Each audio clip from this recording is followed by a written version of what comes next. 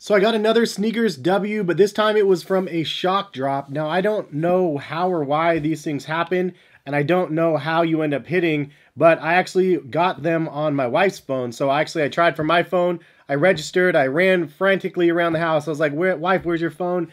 And then she's like, it's in the kids' playroom. I went and grabbed it and then uh, went and checked out. Then I actually hit on hers, even though it was like minutes after my first entry. So it wasn't done where it's a timed entry it just seems to be random. If you guys know better, of course, leave a comment. But anyway, this is a pair that I, I've said this probably a thousand times through the year, but I've been wanting to get uh, back in my collection. And um, here we go, dudes. Fire Red Air Jordan 4s. But this time around, we have the OG Nike Air branding on the back.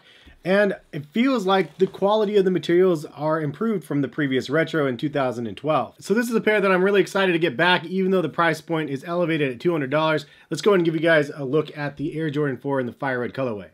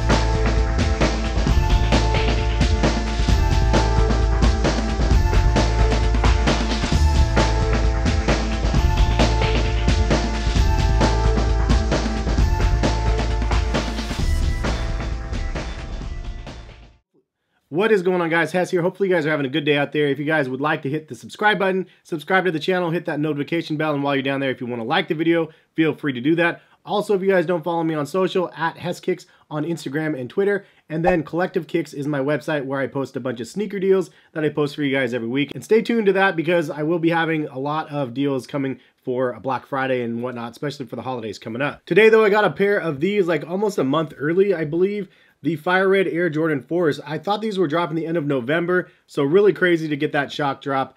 And even crazier that I hit, and even crazier, crazier that I hit on my wife's phone and not on mine. And her phone literally never hits on anything. I don't understand the algorithm with sneakers. I wish it was easier to understand. It seems like it's ever evolving and ever changing. But regardless, I'm happy that I got a pair of these because this is definitely a pair that's going to stay in the collection. I personally am a huge fan of the Air Jordan 3, 4s, and 5s, especially in the OG colorways. And this, if you didn't know, is an OG colorway. What better colorway too? White, red, black, Chicago Bulls sort of vibes to this for sure.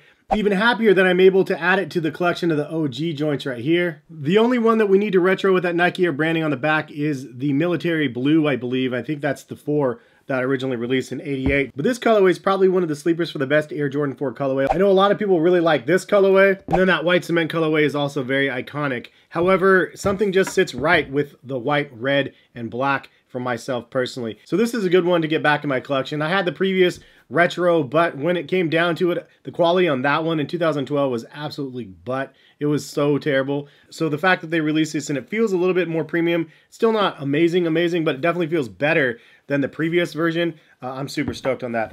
On the box, the colors say that this is white, fire red, black, tech gray. $200 is the price point, and I went with true to size, which is what I like to usually do in my Air Jordan 4s. I think it's safe to say that the Air Jordan 4 is probably one of the most coveted Air Jordans of all time. When you have so many ridiculous collaborations with the Air Jordan 4 model. You have anything from Undefeated and Eminem from back in the day, Travis Scott, Virgil Abloh, Union, Doernbecher. I have a couple of the ones uh, behind me, but it's just one of those hyped up silhouettes that get really, really good collaborations. And a lot of the collaborations just look really dope. And even the ones that don't look dope, like the Union 4s that people didn't really like, end up being dope. So it's funny how that happens. And speaking of those Union joints, how many people are going to start rocking the Air Jordan 4s like this now? I feel like that wave is going to start catching on just because it is what it is and it does say Air Jordan uh, the proper way right there. Now I just creased the crap out of my tongue. But but anyway, so just an overview of the shoe. You have the white leather that basically is done in a couple different panels. One across the toe guard of the shoe, one across the top. You could even see the seam right here on this side of the shoe as well as on the back so you can see where the things get married together. You do have a black mesh on the tongue and then a black mesh on the sides that have a white rubberized netting over top of it, which is kind of what the Air Jordan 4 is known for. You also have red TPU on the laces on the bottom and then the top. And then you do have a triangle like wing on the back that holds the lace together as well. Jumpman logo with flight underneath it on the tongue and then you have white laces. On the back heel you have that infamous pull tab that comes up right here and then the Nike Air branding in red. On the midsole, you have black and then white with a white air unit. On the front section that's rubberized, you have red and then that tech gray. And then on the bottom, it says Nike and then tech gray, white, and red. You have a red liner and then a black insole with the red Nike Air branding on it. So one of the questions I have for like Jordan brand people, if they're ever even watching these videos, when are we going to change the compound in the midsole? Now, I don't want something necessarily soft and squishy, although that would be fun. We want to keep the traditional form and shape. We know that this midsole crumbles over time, especially over like 10 years or something like that. The shoes are still good, the leather's still good, but the midsole makes this shoe unwearable. So short of doing a sole swap on these to bring new life, it would be cool if they use a rubber that didn't decompose the way that the current material is used. Now, one thing I did notice about this pair, different than these other two, to the touch, it's actually softer in hand. So I don't know if they went with a different formula than like this one, but this is like really tough to the touch. This one's actually softer and squishier. So I don't know what it is. If I'm wrong, leave a comment. If I'm right, maybe drop a comment if somebody knows why this is softer. Maybe they went back to the OG formula. Maybe they went with something different to make it last longer. I'm not sure, but I think that the right solution would be to make something last longer. I'm pretty sure that the midsole on this is the mortal flaw in the shoe, unlike the Air Jordan 1s that have rubber through the entire midsole and outsole. But this colorway is just so good, man. Just so many memories of seeing this sneaker time and time again. Michael Jordan wearing the shoe. It was just such an iconic moment in time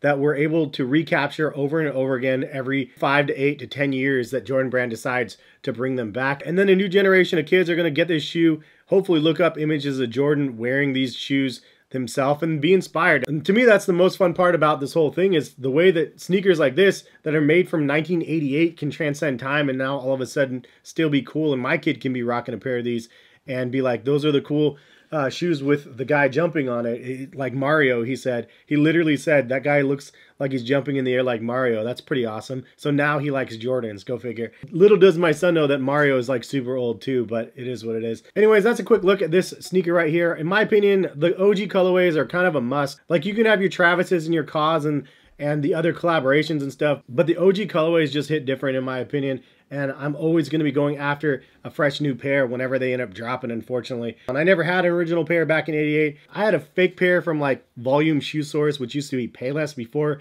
Payless was Payless. That's how terrible everything was back then. But it was 20 bucks and I had a fake air unit and it was not very fun. But now I got a pair of these and I even got them early, so I'm super stoked on that. But uh, did you guys cop a pair? Are you interested in copying them when they drop? Drop a comment and let me know.